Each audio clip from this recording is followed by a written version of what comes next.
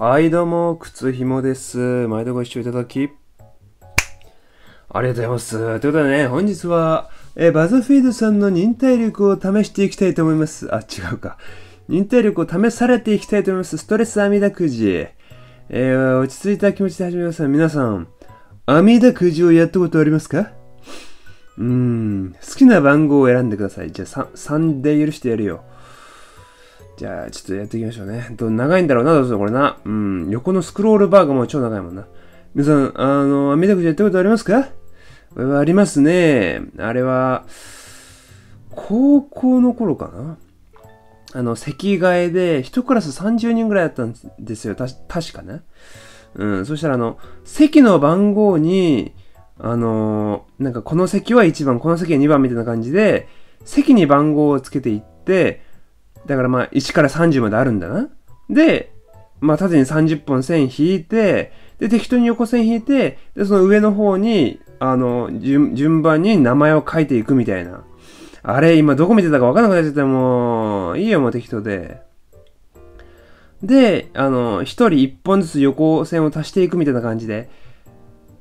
うん。で、それ、それでクラス、クラス替えじゃない、席替えをや、やらされた覚えがあるわ。うんで、な、な、何が悲しいって、で、あの、みんなウキウキしながら新しい席どこかなってたじゃん。そしたら俺の隣の席の女がよ、結構、結構嫌がってたんで、え、こいつの隣かよ、みたいな感じで、嫌がられたの覚えてるわ。俺だって別に選んであんたの隣に来たわけじゃねえんだぞ。うーん、その、い、い、いや、いや、嫌そうな顔するんじゃねえよと思ったな。うーん。あんまりその、なんか高校生とかっていうとさ、その、まあ、アニメとか、その、ライトノベルっていうのはよく知らんけど、なんかそういった題材に取り上げられがちな年代じゃないですか。甘酸っぱいこの物語でな。